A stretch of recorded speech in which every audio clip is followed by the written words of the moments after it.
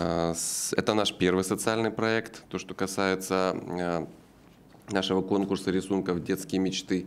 До этого, ну, я не знаю, там, если вы следили за нашей деятельностью, обычно это была все-таки массовая деятельность, массовые, скажем, виды спорта.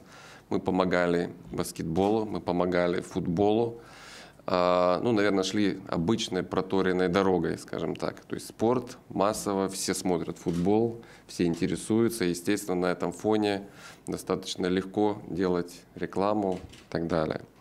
Но в какой-то момент э, решили все-таки следовать основному, э, основному настроению нашего хозяина, владельца компании, господина Вагнера, у которого все-таки искусство стоит на переднем плане.